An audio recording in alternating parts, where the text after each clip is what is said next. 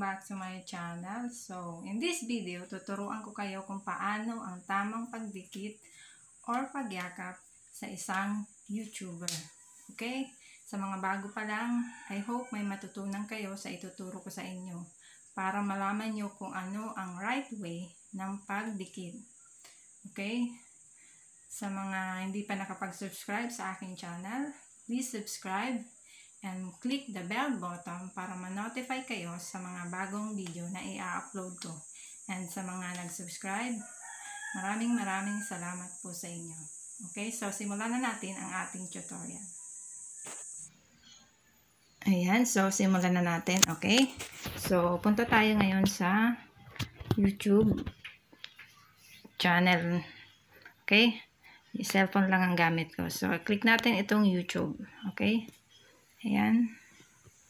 So, tapos, click mo na itong, ano, search, ano, icon. Ayan. Click natin yung kung sinong, ano, papanoorin natin. Halimbawa, ito si MJ Usano. Ayan, nakalabas na siya. MJ Usano. Okay. Ayan. Click natin yung picture niya. Okay, para ma-open natin yung channel niya. So, yon dito, hanap tayo ng video niya na medyo maiksi lang dahil tutorial lang ito. Pero pag mag-watch talaga kayo, kailangan i-full watch nyo siya bago kayo mag mag-like, mag-comment, or subscribe. Okay? Para di masayang yung pagdikit nyo or pagyakap nyo. Okay? So, click natin itong medyo maiksi lang para mabilis. Ayan. Click natin ito. So, ito. Panuorin mo siya ng full watch talaga. Huwag mong i-skip kasi maiksi na nga lang yan. Hindi mo pa watch. ba? Diba? So, after mo ma-full watch yan, ayan, pwede ka nang mag-comment.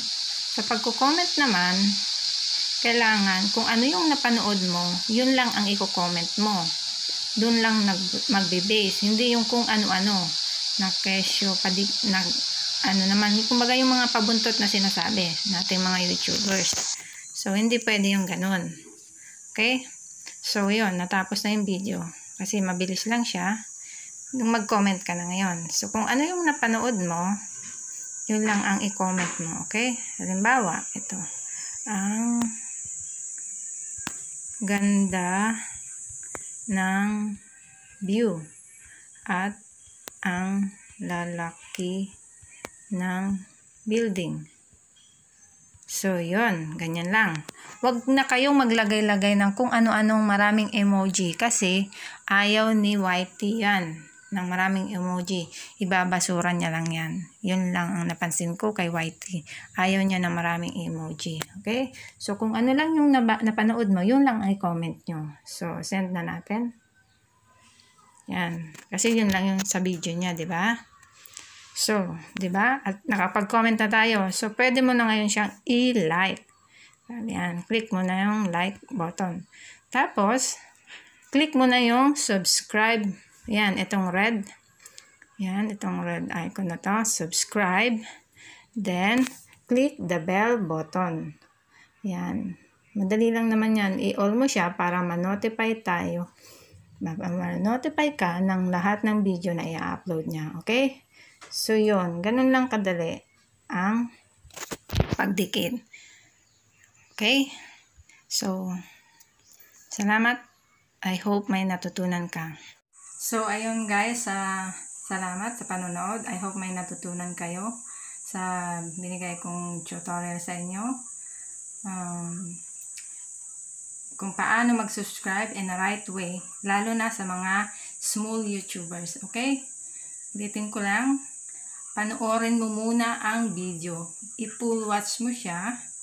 Then, bago mo siya i-like ang video. So, yon Kahit, basta sa mga, ano, video na maghanap ka doon, sa mga video niya, hanap ka ng maiksi, or basta, kung mahaba man, hanap ka ng mga, basta panoorin mo siya ng mga 4 to 5 minutes, yon Pasok na yon So, um, bago ka mag-comment, ayan, mag-comment ka sa tamang paraan kung ano yung napanood mo. Huwag nang magbigay ng mga pabuntot na sinasabi. Okay? Kung ano lang yung pinanood mo, yun lang ang i-comment mo.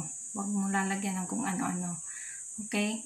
And the fourth na steps is, pag natapos mo na, yung napanood mo, nag-comment ka na, ayan, click the subscribe button.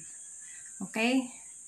And number five, hit mo ang bell button para always tayong manotify sa video niya. Okay? Para walang sayang. Kailangan i-hit mo yung bell button. Okay? Walang bayad yun. Kaya wag tamad mag-click. Uh, lalo na sa pagla-like. Kailangan lagi mong ila-like ang video para pasok sa banga. Okay? Watch lahat ng video. I-full watch. Yun. Para pasok. Hindi masayang ang ating pagdikit sa ating kapwa YouTuber. Okay? I hope may natutunan. Thank you for watching. Okay, bye-bye. Till next video.